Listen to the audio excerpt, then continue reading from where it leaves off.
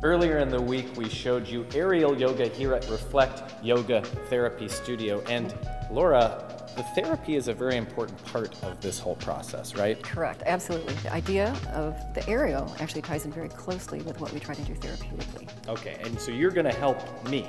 I am going to try. Okay, yeah. God help you on this one. Okay. I'm so, going to give it the college So what, what do we have to first establish? All right. The first thing that we do before we do any sort of intervention mm -hmm. is we need to think about exercise as being a modality for treatment. Okay? okay. So we have to figure out what we're diagnosing, what we're trying to correct, and then how to empower you to make the right kind of changes. So we did a series of tests that would determine what type of yoga positions would help. What you might want to notice here is that the space between the left shoulder and the face is much more narrow than the space between the right shoulder and the face. And that tells us that there's a restriction and an elevation on the right side of the rib cage. Does that just mean that I'm really strong on one side? Sure. We'll go with that. Okay. Okay, yes. Really what that means is that there's a part of you that really is strong, but because it's stronger, there's the opposite side that's hypertoned, which means that it's weak and short. So when you look at yoga as a therapeutic intervention, we want to make the short side long and strong. Okay, so we suspect that you have a restriction at T12, which is at your 12th rib. And the way that we that assess. Was the 12th Terminator movie. It was, and you hmm. did a fabulous job. now we have to recover from that. Okay. And you can tell that my right hand is higher than my left. That means your right hip is higher than your left.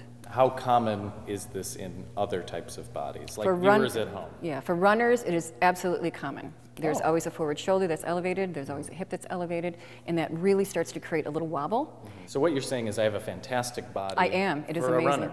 Yes. Okay. You oh, got it. That's the good news. That's I the good felt news. a little nervous about you saying some of these things, but we can correct these things. We that's can the correct these news. things, which is why yoga and running like this. Okay. It's a sandwich of success. We started on the ground with a few positions we would recreate later on the swing.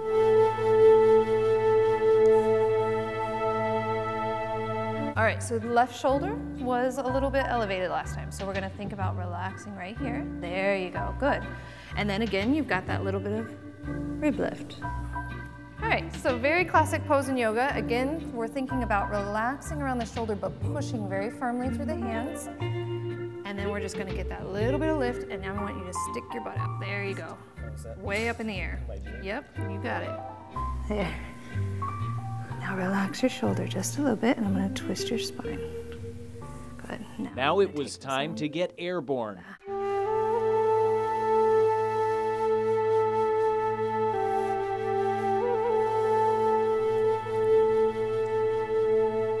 Then you'll begin to walk your way down, and then begin to press yourself up. And then lean your chest forward as you come up and then start to straighten your legs. There it is, see? Holding you up. Yeah.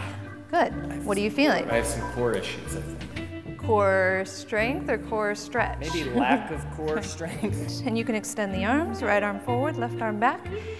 And there's a nice little twist here and the shoulder release. There you go.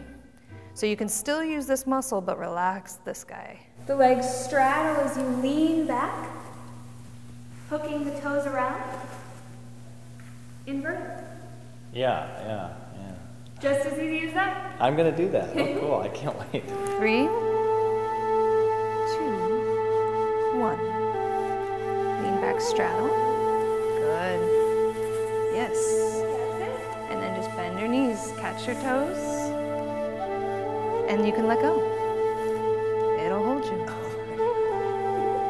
You're getting some decompression through your back as your body weight hangs down, so the pressure comes off of a lot of the vertebra there.